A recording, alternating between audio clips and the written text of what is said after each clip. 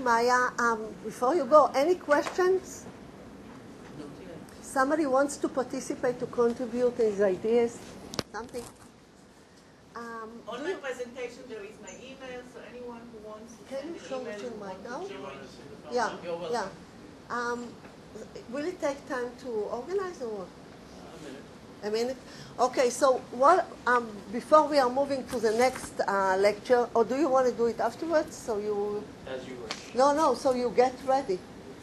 Okay, so we'll move to the next, um, and, and it's very uh, connected because our next lecture um, is regarding those young, uh, talented uh, students that I was talking earlier. And we have here with us uh, Shira Shofti, which is the head of the uh, science-oriented youth. Uh, you know, those wonderful uh, initiative of Tel Aviv University, uh, nurturing the very young uh, students and bringing them, uh, you know, choosing them and bringing them and educating, educating them in their very early age. And we have just one very nice um, outcome, I would say, of this project. He graduated the, this uh, um, program and is now a scientist by himself, independent scientist. And I want to invite here Or Sagi, please.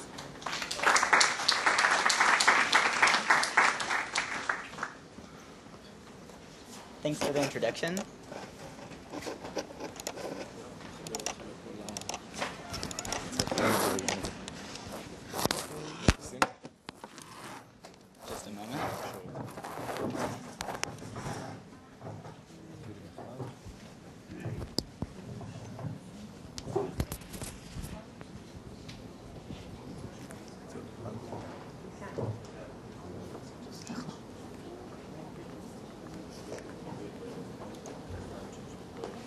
Thanks. Uh, my talk is going to be somewhat different from the talks you heard earlier and you're going to hear on today because I'm not going to give you facts and figures. I've been asked to talk a bit from my experience as someone who, as Shira says, is science oriented. Now, I've been asked to talk about the challenges of it, and as um, is said in something called the Sunscreen Song by Mary Schmich, as um, if she were asked to give one piece of advice, it would be to wear sunscreen. Because wearing sunscreen is something that's been scientifically proven to do something. Whereas what I'm going to tell you now is only from my experience. So let's start with this forward. Now, Mark Twain once said that he's not going to let his schooling interfere with his education. Uh, I asked one of my friends yesterday, and he said that uh, for somewhat he found school as kind of a sensory deprivation chamber because he didn't get the stimulation he needed. And I think that for science oriented or excelling youth, sometimes the challenge is to kind of find a balance between, on the one hand, knowing your potential, and on the other hand, knowing your limits. Knowing that you can do amazing things, but you can't do everything. And sometimes at school, we don't get the stimulation that allows us to see both edges of this.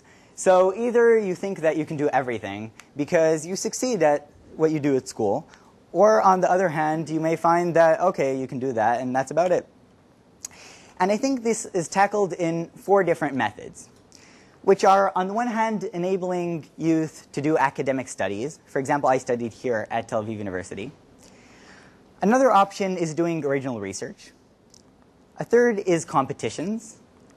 And the fourth is a more amorph thing of being able to make something out of nothing. And I think something that goes with all of them is the important opportunity to meet people similar minded. Now, I'd like to take a few minutes to tell you about a few programs that allow these five different aspects, and then to dwell specifically on one of them. So let's dive in. The first thing I like to talk about is the Science Olympiads. Unlike the Olympics you hear about once every four years, this happens every year, nationally and internationally. And instead of checking how fast you can run and throw hammers and stuff like that, it checks how good you are at biology, chemistry, physics, etc. And what this allows is, on the one hand, to get to meet academic level material in your interest subjects. And on the other hand, to kind of calibrate yourself against other like minded youth. Another type of initiative is initiatives that allow doing original research. For example, the program for super gifted youth that we have here in Israel, or a new program called Alpha that just opened this year. Uh, by the way, all the programs I'm talking about, again, are from my experience um, of being in them. And what this allows is having a mentor which you work with for, say, a year. So you can have a role model to see the amazing stuff that you can do. You do original research that no one's done before. And with that, to kind of get to meet failure, where you try to do something and you don't succeed, which is an experience that I think is important for knowing and building your character. Besides that, uh, this original research can participate in competitions. For example, Intel ISEF, which has the local version here at the Science Museum, led by Maya, who told you a minute ago. And what this allows is on um, first of all, meeting other like minded youngsters who also did amazing research and finding out interesting stuff you can do, and also that you may not be the best in your subject field, which is something you sometimes don't get to try in your small area. A totally different approach is that by FIRST, which is an organization that conducts robotics competitions worldwide, both for high school, they have the FRC, where you get to build a robot in six weeks from totally from scratch. The FLL for middle schoolers, which also includes doing research in something. For example, my team tried to solve a problem of traffic jams. And there's also the junior FLL starting from elementary graders, so second and third grade and so on.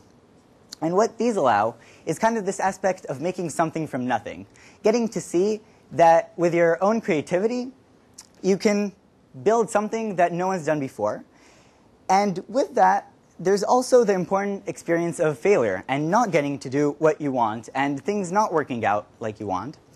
And also, there's an, an, important aspect of passing the knowledge on, of people from the FRC, for example, working with junior FLLers and getting to calibrate your knowledge by giving it on to others. And before I get to the program I'd like to dwell on a little more, I'd also like to tell you about a cool initiative called the Big Geek, which was organized by an Israeli organization called Startup Seeds.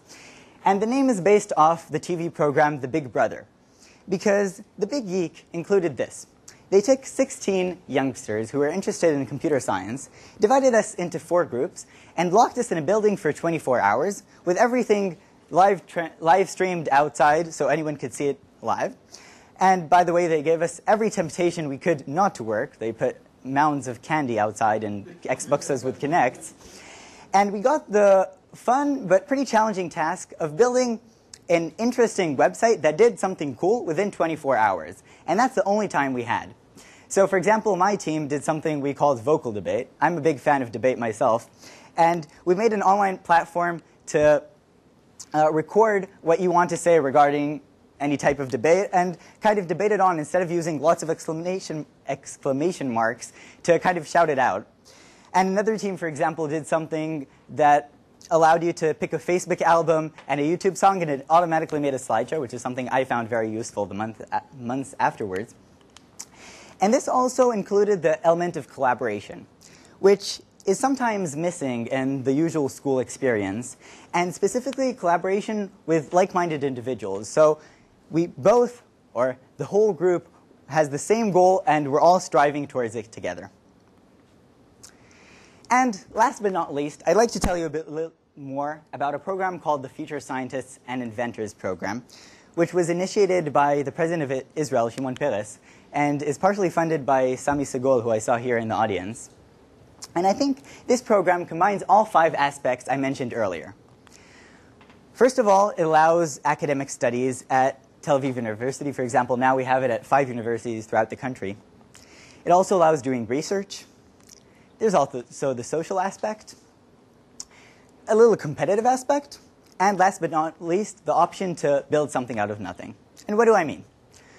So, first of all, the program starts with the option to study at an academic level, first of all with peers your age, and later with students who are five plus years older than you.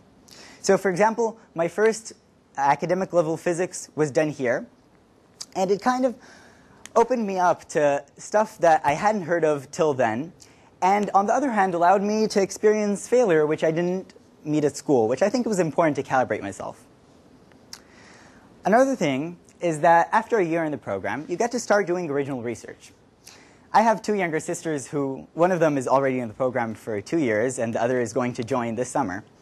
And one of them, for example, is going to start doing research on the biology of bacteria in ants. I have friends who did research on superconductors. I myself did research here uh, at Tel Aviv University in the neurobiology department, and I'm still doing it. And I think this allows you to kind of take your creativity and use that spark for something that the world has never seen before. And with that, to kind of find that you can do everything. For example, in research I did on magnetic bacteria, I went to five different beaches and tried to find magnetic bacteria in each of them, and that really didn't work out. Now, I did that at the Weizmann Institute under Dr. Rotem Sorek, and we said, okay, maybe this didn't work out, let's try something different. So we made a theoretical concept about magnetic bacteria without even seeing them. Another thing which I find important is the social aspect of meeting youth that are also interested in similar stuff, also hardworking, and we also did regular youth stuff, as you would maybe think of it. Here's us playing soccer just outside here. And the option to collaborate with them and work on projects together. Which also brings me to the mini competitive aspect. For example, we had something called a white night, where we stayed here at the university for 24 hours. It's pretty interesting to be here after dark. And we had to think of the best way to knock an asteroid off its course. For example, my team decided to do it with coloring the asteroid and using sun rays to knock it off its course. And I think this is a good type of a little competition that motivates and stimulates creativity. And last but not least, a connection with the industry and academia that allows the opportunity to give something to the world. For example, the Future Scientists and Inventors program connected me with an organization called SpaceIL, which is an Israeli nonprofit attempting to send a spaceship to the moon next year. And they even allowed me the pretty challenging task of trying to find possible landing times for the spaceship. And I think it's a pretty empowering experience to do something like that, which I would have never have thought I'd do any time, let alone at age 17. And on the other hand, it allowed me to kind of get to experience real world challenges. So I think specifically this program combines all five aspects I talked about earlier. And I tried to tell you about, first of all, the challenge of science oriented youth and five different aspects of tackling it, be, the, be it academic studies, research, competitions, or making something out of nothing, combined with the social aspect, and tried to touch on a few programs that I think embody these. Thank you.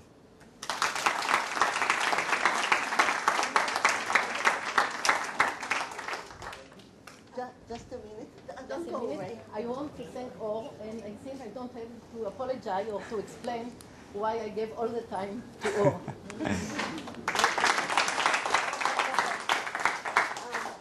Uh, I just, uh, first of all, if somebody has any questions to all, hear them. Uh, just, uh, I'll introduce you first. Uh, this is uh, Professor Karlheinz Meier, the Vice Director of the European Project. I- The question I have, you, uh, you show this balance, which, I like. And you said one of the purpose of your work is to find your limits. Did you see any limits? Did you find any, any limits? Definitely, I'm still working on calibrating it. Um, yes, but I did find I found it kind of empowering. Of course, it was pretty frustrating when I tried something and it didn't work, and when you fail at doing a small task at the university which you didn't get at school. But I think I'm still pretty much calibrating it, and hopefully, in the years to come, I'll get to see my limits more. And I think it's important to start it at a young age. Thank you. Another question. Yes. One very simple, maybe naive question. What is the best time to land on the moon? Well, that's a great question. Actually, I signed um, a non disclosure agreement regarding that, but just um, I'll tell you that we're trying to combine aspects from um, when it would be interesting to see a live stream of the landing, to when the moon's rising and falling and stuff like that. But I think that's about it, about what I can say. yes. What's the best way to get you interested in the brain? Ooh, that's a great question. Well, first of all, as I said, I'm doing research here at the neurobiology department, so I'm myself am pretty interested in it. And I think the main important thing is the fact that the brain is really at the frontier of research now.